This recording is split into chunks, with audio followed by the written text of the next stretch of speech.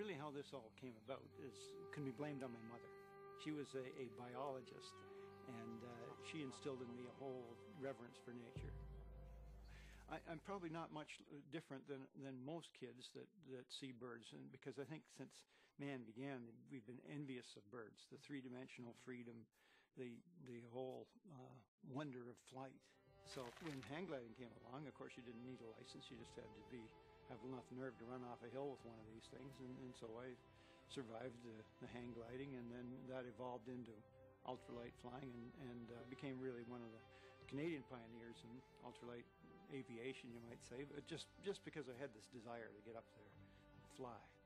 But then one day uh, in the fall, I had an amazing experience. So there was a, a, a, stubble field, just black with birds, and I thought they were starlings or something like that.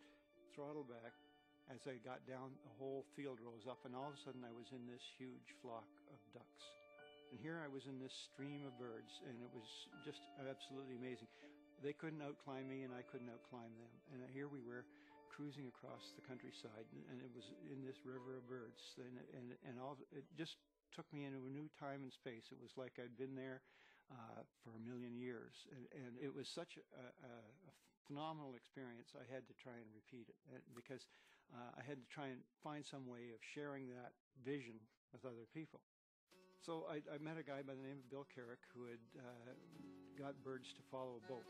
Uh, he, he, provided me with some goslings and, and, and uh, taught me about uh, Konrad Lorenz, who wrote the book on how birds learn things. And from that I learned about imprinting and got those young geese to follow the, the uh, aircraft. And it took me three years to figure out exactly how to do it. But uh, make a long story short, in, in 1988 I got 12 geese that would fly with me. And it was just everything I thought it would be. And it just so happened it was the first time that uh, you could get a little SVHS handheld video camera, and I acquired one of those, made a little documentary of it. It had the image of the birds from their point of view, and, and you saw the, you saw those birds flying right next to you, and it, and that caught so many people's imagination. Well, Bill and I had been friends and acquaintances for a long time. I mean, he's an artist, and I'm a photographer, and I helped him with a little bit in his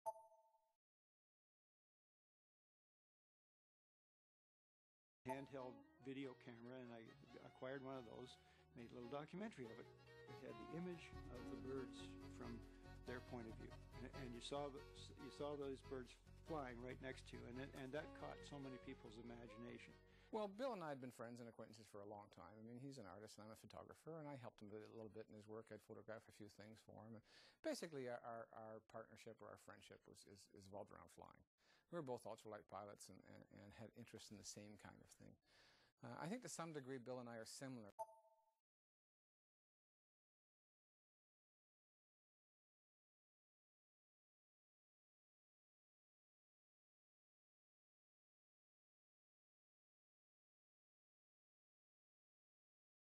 We're, you know, we're half scientific and we're half creative, and we're kind of torn between the middle. You know, we don't know which side of our brain is working the best, but anyway, it, it, it, it's a, um, a, kind of a camaraderie there. And we've been friends for a long time. Joe at that time joined up with me, and, and the two of us flew a flock of Canada geese to Virginia, and in the, the following spring they returned, much to everybody's amazement, mine included. I mean, it, was absolutely phenomenal. That really garnered the interest of the scientific community, and it really caught their attention, as well as as as the uh, the public uh, interest there was a lot of uh, interest in making a film of that whole idea. So, of course, uh, Columbia Pictures uh, um, made Fly Away Home, and and uh, uh, it really gave a picture of you know it was it, it wasn't the, the absolute true story by any means, but there were little bits and pieces of it.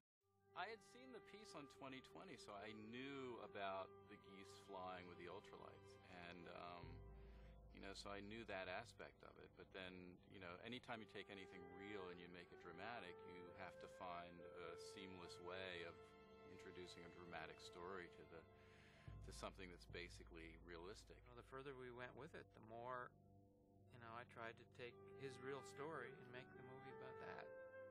And the fact that we were meeting him on his farm was also a factor because he has all these amazing sculptures he's created. He has all these airplanes and hangars, these little ultralights that all are of various designs. He has this incredible underground house that he invented and designed and everything. it's it's like going to see you know some space guy on Mars or something. I mean, it's unbelievable what an incredible place this was. Well, so we talked, and he talked about stuff that he was interested in, and what he was interested in in terms of the geese and everything. He said, "Well, today, you know, the uh, I'm expecting the geese to come in, you know, and we're sitting there, and all of a sudden we hear this noise and look up." There's like 25 geese are circling around and they land right there in front of us. And those are the geese that he flew down there. I mean, hey, did he arrange that? I mean, I mean, obviously something was happening here. Fly Away Home uh, did two good things. It provided us with enough capital to carry on a number of studies. And the other thing it is, it raised the awareness of people right around the world about the, the plight of endangered birds. And when we land, we say, "Did you see the film Fly Away Home?" And it gives them the image to start with, and then you can you can elaborate on it. in Fly Away Home, I mean, the basic reason for the geese to go south was just for the, that particular flock of geese, but it was, it was to save a wetland. And this is not, Operation Migration is not about saving a wetland. This is about saving a species, you know. Uh, he subsequently did five or six other migrations with geese to uh, refine the technique. And then they got into uh, sandhill cranes, which is uh, a cousin to the whooping crane. Um, very similar, but abundant. There are thousands of sandhill cranes. They were readily available species to see if the technique would work. Um, the goal all along has been the whooping crane. It's, it's the icon of endangered species, if you will, in North America. I don't know if you're aware, but the whooping crane, you know, back in the 1940s, there were only 15 birds. All the birds we have today are descendants of 15 birds. When you realize there are only a couple of hundred of them, um, you suddenly start to think that, you know, it's very fragile, and, and where they winter along the Texas coast, uh, a hurricane or something could wipe the whole flock out. That's why it's important to get a second migratory flock happening. So the whooping crane recovery team, uh, the, the Canada-U.S. team, joint team that's responsible for these birds, um, started a, a, a non-migratory population in Florida. They raised birds in captivity, released them in Florida, and those birds were never shown a migration route by parents, so they became resident, and they stay in Florida. And uh, we want to start a, a, third population, migratory, migrating from uh, Wisconsin down to Florida, and once we do that, we'll have three discrete populations, and then the bird hopefully can be downlisted. And cranes are quite a different species, so we had to learn a whole lot of new things to get cranes to follow us. And, and uh, we had to we, we, did one study after another. And the other thing was that we had we couldn't fly with them like we could fly with geese, and, and not uh, and we had to keep the cranes wild. So there's a, there was a tremendous amount of work in in learning how to uh, wear costumes and and how to use the appropriate sounds, how to raise the cranes, how to fly with them differently.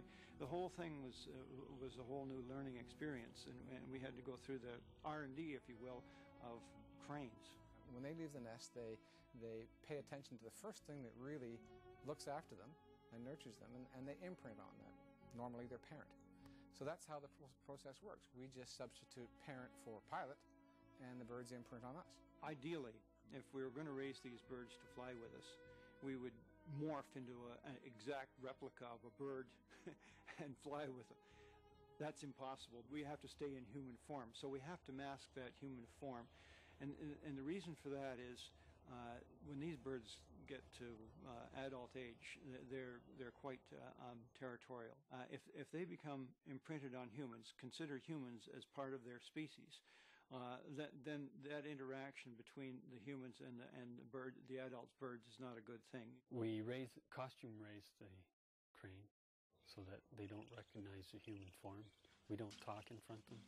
We don't make wild gestures with our hands. We keep everything very low key as far as any human activity, and we stay away from them as much as possible. The only contact that even the costume has is just feeding and training exercises getting them to follow the ultralight. We're trying to, to develop a technique where we can take a bird from the wild, have as little impact as possible on it, keep it as wild as possible, not introduce it to anything human, and get it south. So, so it's still a wild bird. It reverts to the wild, it avoids people, it is what it's supposed to be, except it has this vague memory of a migration and some indication of how to get back to where they started. That's what we're trying to do. Has that a little impact as possible on these birds. Part of the spin-off of doing these migrations, part of the joy of this migration, are the people you meet because it's traveling across America on a different uh, element entirely. You're going like the birds go, and you land in people's backyards that uh, are removed from urban areas. So you meet a cross section of America that no one really knows, and it's and it's quite wonderful. Just about every night we get invited for dinner. I mean, that's a big undertaking to take that, you know, to, to entertain people all day, give them everything they need, and then invite them to dinner at the same time. It's a huge undertaking, but we have some fabulous apple pie. so it was great. the response we've had is just just amazing. The team is really an excellent team. Uh, you know, starting with Joe. Joe is a, a man who's who's dedicated and attention to detail, has tremendous passion for the whole thing. You know, on one hand, um, you've got Bill, who's not only dyslexic but colorblind and sort of all over the place, not an organized moment in the man's life, but, you know, we love him dearly. And on the other hand, you've got Joe, who is super organized, very focused to details, has to have things just done a certain way. So I guess, you know, the, the funny part is trying to find the medium. Heather Ray uh, joined us uh, about three years ago and, and uh, has just worked doggedly at, at uh, keeping things going and and, uh, uh, and and looking after all of the administrative things that are just such a headache to me and Joe. She's one of those people that spends her weekends thinking about what she can do to make it better and how we can fundraise here and how we can fix the website there. She's one of those people that's involved, you know, seven days a week, 24 hours a day. It's in your mind, and, and that you can't, you know, you can't hire. That's that's that's not an employee. That's a team member. Okay, and Richard, it's uh, Paula. Yep. Yeah, they say they're going to be at uh, Cherry Hill at 8 o'clock, and they figure that'll be their destination. Okay, thanks very much. Richard Van Heuvelen, who's a, a multi-talented guy, has worked with me for 23 years, loves the whole thing and has a passion for it too, uh, and and uh, can can uh, fill in anywhere, do anything from flying the aircraft to to, to fixing a, a, a flat tire, uh, you know, anything. I'm sort of more behind the scenes, making sure things get done, and uh, let them bask in their glory, so to speak. He sort of runs the ground crew and makes sure the pens are up, the the trikes are flying fine, and you know all of those are sort of his responsibilities. And now with the migrations, now I've been trained how to fly the ultralights as well. So I'm also a backup pilot for uh, all these guys. Don and Paula are saints. They're just wonderful people. Instead of being uh, part of the ground crew, Don had decided really um, with the others it would be helpful if there was an aircraft flying above the trikes. They were having problems with communications, and as a communication relay, the airborne aircraft up higher would have much more range and be able to keep contact with the ground crews and, and help to keep everyone informed as to what was happening because things didn't always go as planned. Yeah, there has to be some sort of a, a lifeline. Um, simply because they're up there flying, you never know what's going to happen. Um, they could go down, they could lose radio contact. So as soon as they're on the ground, I need to know. We have charts and radios and, and communications um, abilities by being above that we can uh, draw on, on help for them. And also the fact we're in an enclosed cockpit. Right. we can are- have the maps, we can have the, the um, manuals and everything handy. In the trikes, they can't do that. They're open. They give the old, open map up, it's going to be gone. It's like any safety net, you know. Hopefully, you never use it. It just sits there doing nothing. But, but there are times when when they save the whole show. Bill and Joe have a way of you know getting people involved in the project because it is very magical. You stand in awe of uh, birds no matter what, and it's wonderful to be up there with them and be able to reach out and, and have their wings brush your fingertips and and and uh, and see them. Uh, they're, they're characters, they're individuals. They play with the aircraft when they're learning. Uh, there's so much uh, joy out of flying with birds that it's it becomes very addictive. It's quiet, and and you go for a walk in the trees. You know, the trees are just 20 feet below you. That's a nice way to fly. It's spectacular. It's really people just go nuts over it. Waking up in, in the middle of the night, sort of, and, and driving out to their locations, and and uh, watching it all unfold, and everybody's quietly doing their jobs and setting up, and and you know it just sort of builds, and the sun starts coming up, and suddenly you know there's there's three trikes taking off, and then finally you know Joe and the birds you know come out of the mists of time, and and uh, you know it's it's an amazing thing to see. I, I I don't think I can express it in words. there are so many emotions all tied up into it, and, and, and any any one can come at this come to the surface at any point. You know, while you're doing this, I mean, you know, naturally we're we're flying low level usually, and in, in, the early morning, so there's there's a degree of danger in that. You know, that that's to be considered anyway. You got to pay attention to what you're doing. Nine times out of ten, the birds obviously fly behind the wing, and it's a delta wing type aircraft, so the tip is is aft of where you are, and, and so you end up with one hand on the control bar and turned around backwards in the seat you know, looking over your shoulder at these birds. And I've, oh, there's a, there's a silo, there's a tree. I didn't see that one, you know. So you get that aspect of it happening, you know, because you're always looking backwards. It's incredible. It's really an incredible feeling to fly with them. Um, it's, it's something you can't really describe. It's something you have to experience as they get used to the whole concept of migration of going from one place to the next, there's a there's a there's a, a, mental attitude that takes over the birds. You can see it, and they become dedicated, and they pay attention to the aircraft, and they lock onto it, and they, just they get down to the business of covering ground.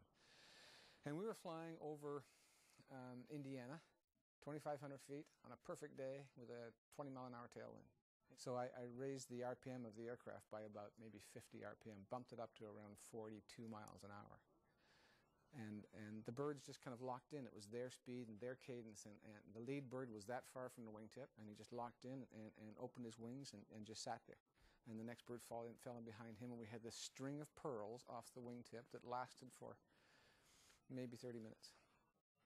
It was just a, an amazing thing to do, you know. And then you realize that, that these birds have been doing this, the same migration, the same traditional route for nine million years it's about giving giving something back. And if, if they can if they can pull this off, I mean, from something that started as sort of a you know a, a, a flying sculpture to actually put the footing down to save an endangered species, it's quite a remarkable achievement.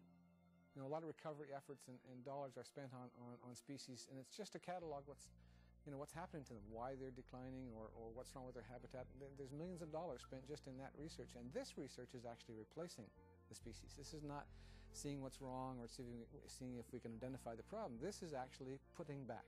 You know, this is one that's reached the level now where we're ready to start reintroducing the birds, and it's an important study. And, if, and if we can if we can fund it, we can do it. We can save the species. When it comes to the overall project, yeah, I, you know, I, I wake up in the morning and really feel good about uh, about how things have progressed. You know, from very simple beginnings to to well, this last migration was absolutely wonderful, and it was such a great success, and it took a real team effort and having everybody working together and enjoying it while they're doing it, and then seeing that the birds got there and, and that we're one step closer to to uh, saving the whooping crane. The whole thing is quite wonderful, and I do I do feel great about it, uh, and, but you can't stop there.